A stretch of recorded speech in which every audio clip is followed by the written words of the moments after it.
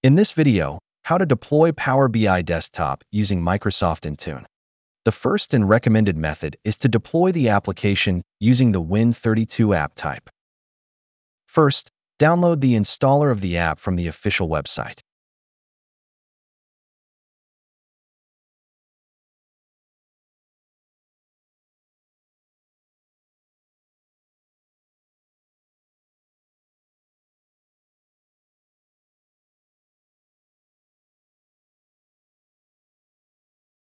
Alternatively, you can use the Windows Package Manager to download the installer.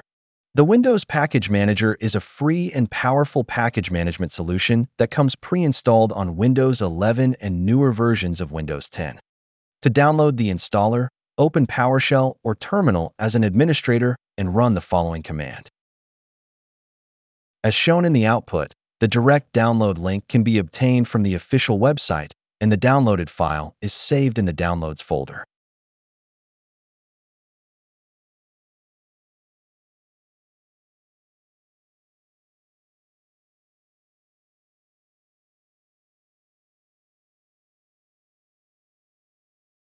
The next step is creating some folders for Intune package creation. For example, I will create them in the D drive.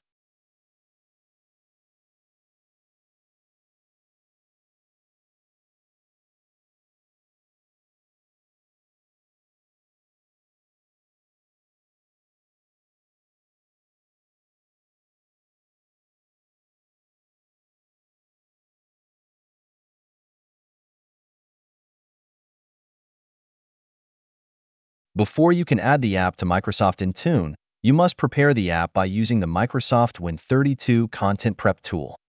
The tool converts application installation files into the .IntuneWin format.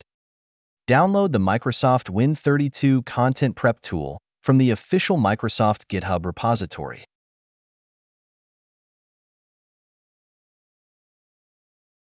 Extract the downloaded zip file.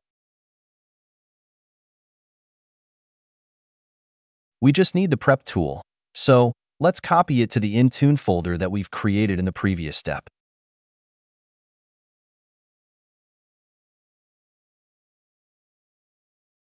Make sure the file IntuneWinAppUtil.exe is located at the same level as the input and output folders. Now, rename the downloaded file to setup.exe.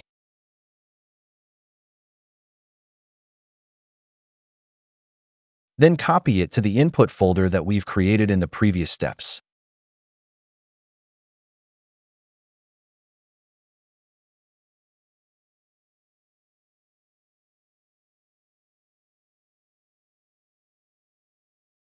At this moment, you can see the structure of the Intune folder.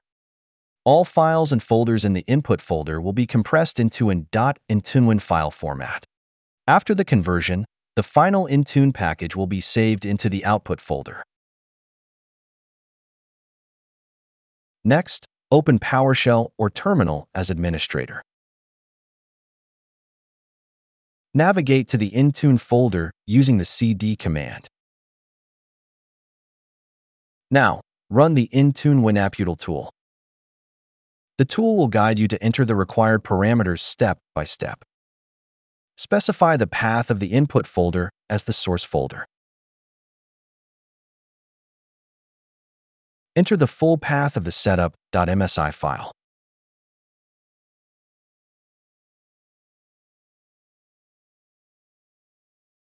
and the path of the output folder for the generated .intunewin file. Press Enter to continue. The application is now doing its magic creating the .intunewin file for us. Once done, go to the output folder to verify that the .intunewin file is being created.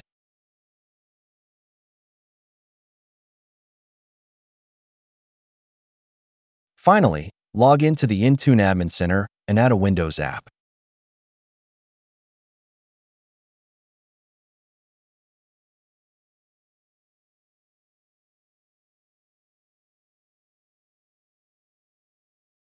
From the drop-down menu, select the app type as Windows App Win32.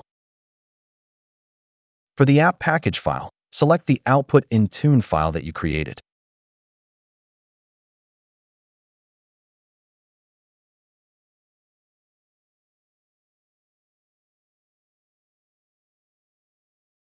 In the app information page, specify the information as required such as name of the Intune app, a description for the app, and name of the publisher. Optionally, you can upload a logo for the app by selecting an image file.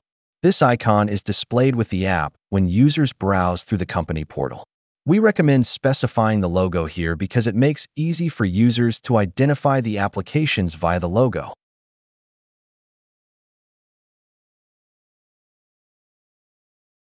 In the Program page, we need to enter the install and uninstall commands for the app.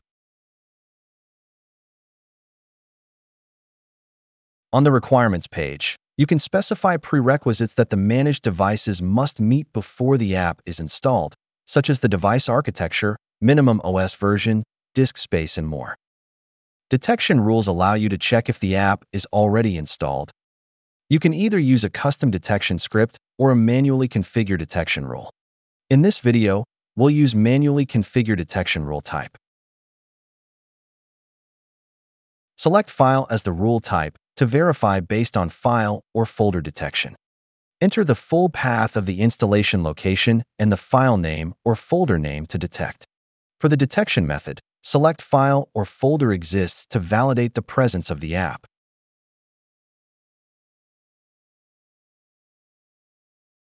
In this page, you can define software dependencies and specify apps that must be installed before the app can be deployed. Additionally, you can configure supersedence to directly update or replace an older version of the app. On the Assignments page, decide how to deploy the app. For required deployments, the app will be force installed on specified groups or devices. For available deployments, the app will appear in the company portal, allowing users to install it. Use the Uninstall Deployment option to remove the app from managed devices. You can select Add all devices to deploy the app to all managed devices, but it's recommended to test the deployment on a small group of devices before deploying it organization-wide.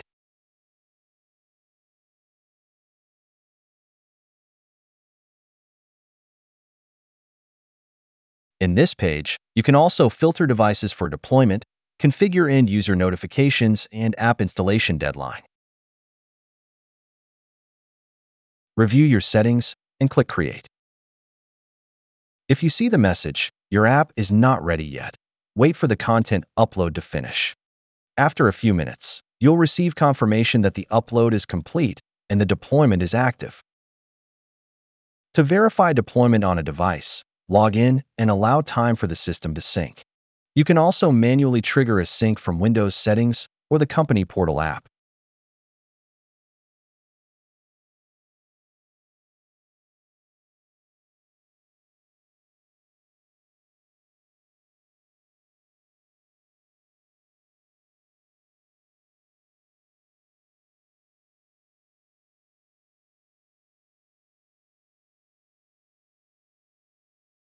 As you can see, Intune is downloading and installing the app, and the app has been successfully installed automatically.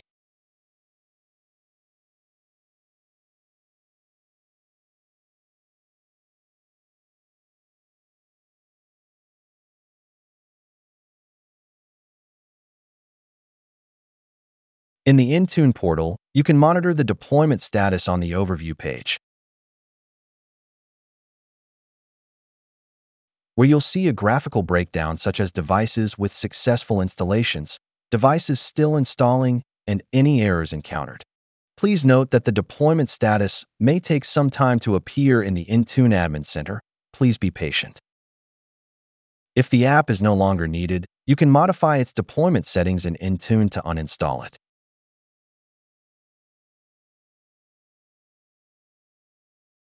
Go to the Properties section and edit the assignments.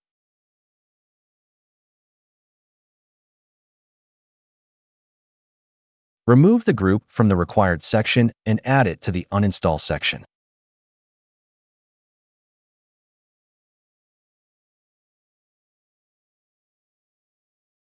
Wait for the sync to complete, and the app will automatically be removed from target devices. The second method is to deploy the app using the Enterprise App Catalog in Microsoft Intune.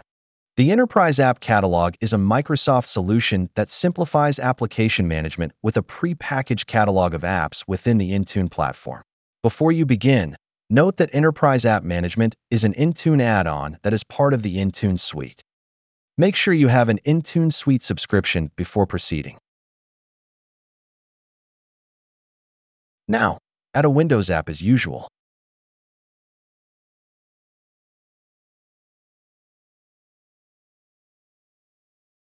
Once you have the required license, the Enterprise App Catalog option will be available from the drop-down menu.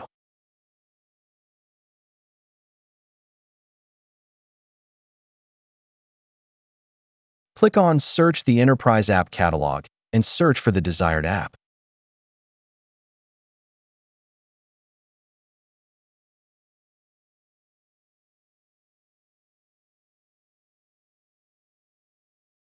The Configuration tab will display the available app types, including language, architecture, and version. Leave the settings on the app information page as default unless you want to make the app available through the company portal. You can also optionally add a logo for the app.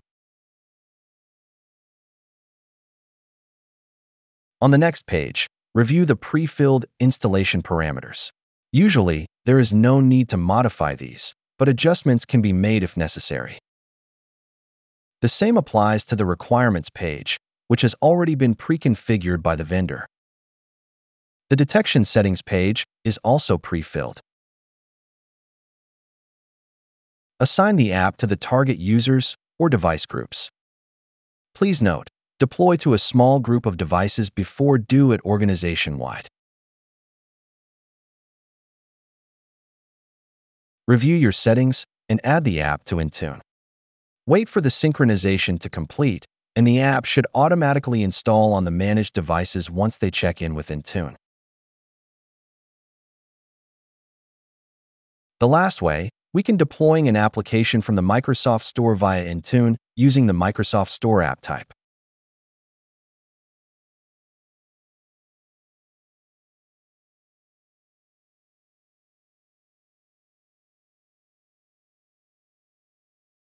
Select Microsoft Store App New option from the drop-down menu.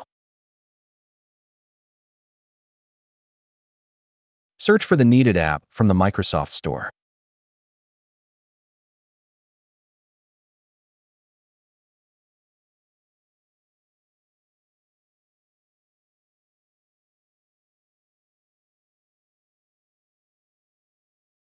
When deploying applications from the Microsoft Store, Ensure you adjust the installation behavior from user context to system context to enable system-wide installation and functionality.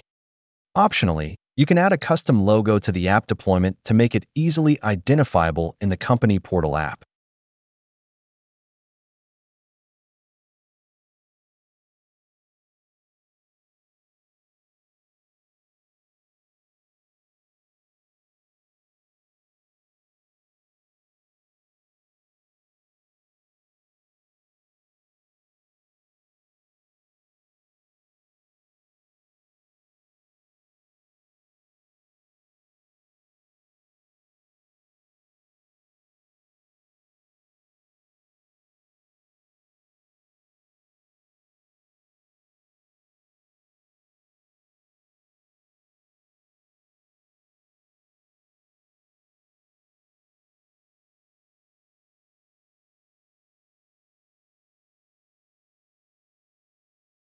That's it. Thanks for watching. Don't forget to like and subscribe, and see you in next videos.